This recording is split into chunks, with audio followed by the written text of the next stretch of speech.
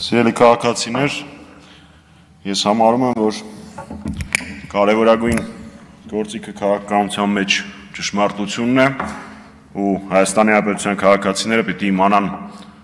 ճշմարտությունը այն ամենի մասին, ինչ տեղի է ունենում։ Մասնավորապես համանազատման եւ համանագծման, համանազատման գործընթացի կանոնակարգի 5-րդ հոդվածի առաջին մասով մի կետ կա, որտեղ նշվում է այսպես կոչված հատվածական համանազատման մասին եւ այն համարվելու է համաձայնեցված անկախ նրանից, թե վերջում, թե մինչև վերջնական համանազատման գործընթացը ինչքան ժամանակ կացվի։ Այլ կերպ ասած, երբ ըստ նույն կանոնակարգի ամբողջական համանազատման գործընթացը համաձայնեցվի, անցնի բոլոր ներպետական փուլերը եւ կնքվի երկու երկրների միջև պայմանագիրը, ոչ այդ պահը այդ հատվածի համանազատումը համարվում է վերջնական։ Այլ կերպ ասած, Ադրբեջանը կարող է իրեն հետարքրող հատվածների սահմանազատումը իրականացնել, այն անվանել ավարտված եւ այլևս ոչ մի շարունակություն չտալ։ Այն, ինչ տեղի ունեցավ 4 յուղերի հետ Տավուշի մարզում։ Ադրբեջանը պարտադրեց իր կամքը եւ դրա դիմաց Հայաստանի Հանրապետությունը կորցրեց 4 գյուղ ու ոչ մեկին չթվա, որ իրենք կարող են մանիպուլացնել ու ասել իբր ընդդիմությունը դեմ է համանազատման գործընթացին։ Մենք կողմ ենք համանազատման գործընթացին, բայց երբ այն իրականացվի ամբողջական հիմունքներով, ակնհայտ լինի թե ինչ է Հայաստանի Հանրապետությունը ստանալու այդ գործընթացի արդյունքում, բայց դե այս իշխանության ընթացքում մենք միայն կորցնում ենք։ Նույն պատմությունը խաղաղության պայմանագրի հետ է։ Փաստացի այս պահի դրությամբ հայտարարություններով խաղաղության պայմանագրում այսպես կոչված, դա մեղքա դա խաղաղության պայմանագիր անվանելը։ Սահմանազատման մասին բան չի լինելու,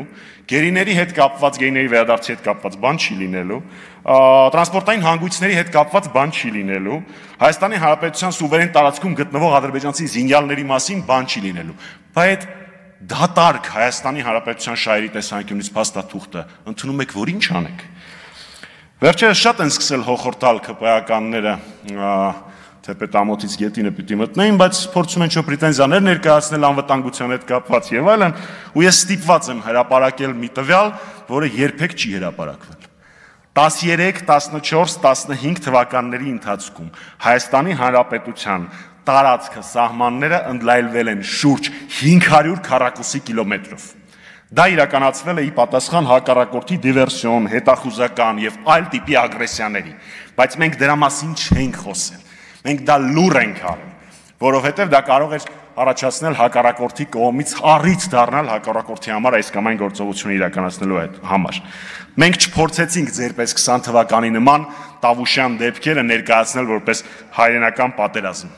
Մենք լուր աշխատում էինք, իսկ դուք լուր բացառապես հող եք հանձնում։ Իմիջայլոց Հայաստանի Հանրապետության ինքնիշխան տարածքը պաշտպանողներ։ Ինչ կա 200 քառակուսի քառակուսի կիլոմետր Հայաստանի Հանրապետության ինքնիշխան տարածքից, որը այս պահին ադրբեջանցիների կողմից է վերահսկվում։